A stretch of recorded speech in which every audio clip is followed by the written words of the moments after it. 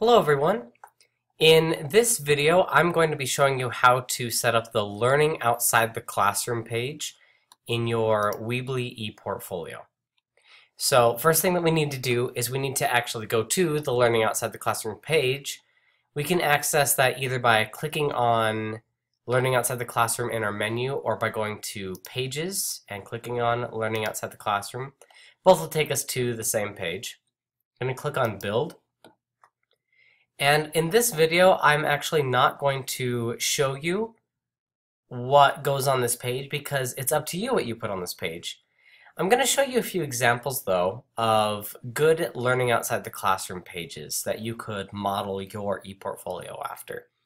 Feel free to use any one of these elements. Uh, use titles, text, images, galleries, slideshows, YouTube videos, whatever you would like to customize this page and make it your own. So the first one I want to show is there was this woman named uh, Amanda Howland, and she has a great learning outside the classroom page. She included trips that she's gone on. She's used many of her own images that she took while she was on her trips. Wrote a lot about each one of those things that she likes to do. She, you can feel free to do as much as you want with your learning outside the classroom. The other example I'd like to show is from this woman named Luciana. I'll go to her outside the classroom page.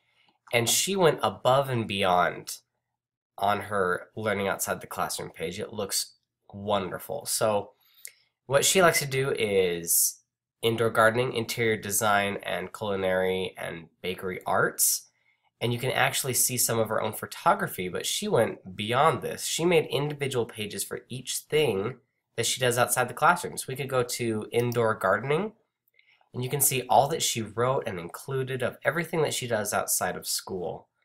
I'll show you another one of hers that interior design, same thing, completely customized the page and showed who she really is and what she does outside of school on this page. Feel free to Include anything that you'd like on learning outside the classroom. Things that you could include maybe your uh, travel, the um, traveling that you've done, hobbies, interests of yours, internships, service that you do in your community.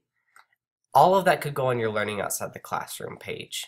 Feel free to have some fun, and I hope this video has been helpful for you, and I will see you all in the next video.